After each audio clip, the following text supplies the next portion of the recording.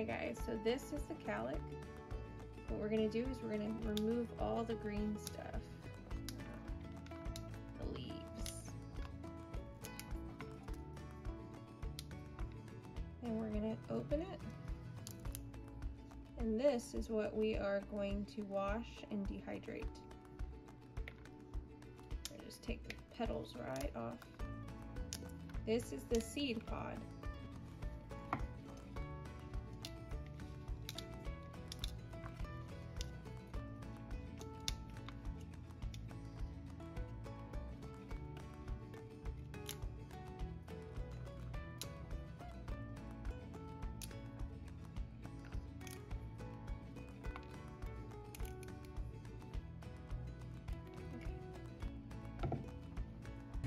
All right, guys, 13 hours later.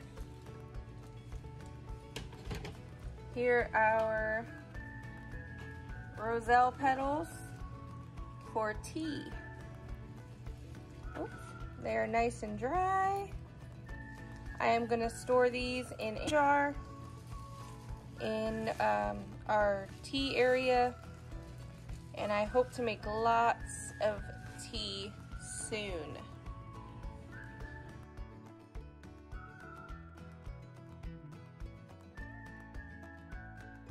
All right, guys, so we're gonna make our tea. This is my amazing cup that my friend gave me. I love it so much. Yes, from church. And this is the first time I'm gonna use it. I haven't taken it out yet because I didn't want my children to destroy it. But they're more mature now and I trust them. So what my daughter is gonna do, she's gonna put some of the hibiscus um, petals into this little contraption. Or you drop some in my cup.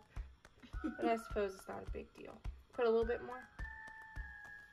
I thought I was going to get so many petals out of those calyx, but I did not get near enough.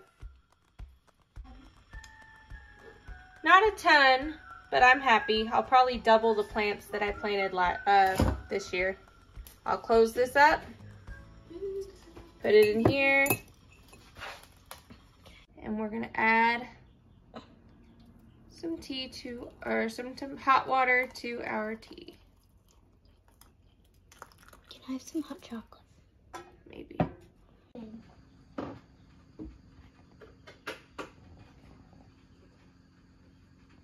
So now we are ready to take it all out.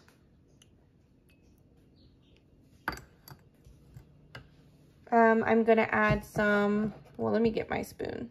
Get some of these petals out if I can. If not, I don't, I'm not super picky and weird about it. I'm using one hand. so I'm just making a mess. This is the reality.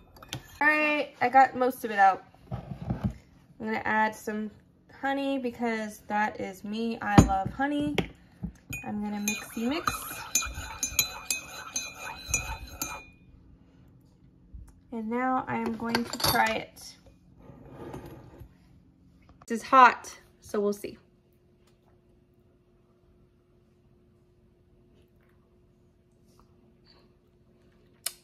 It's pretty good. It's really hot, Nelly. Do you want to try it? But it's very hot. Do you want to use a spoon?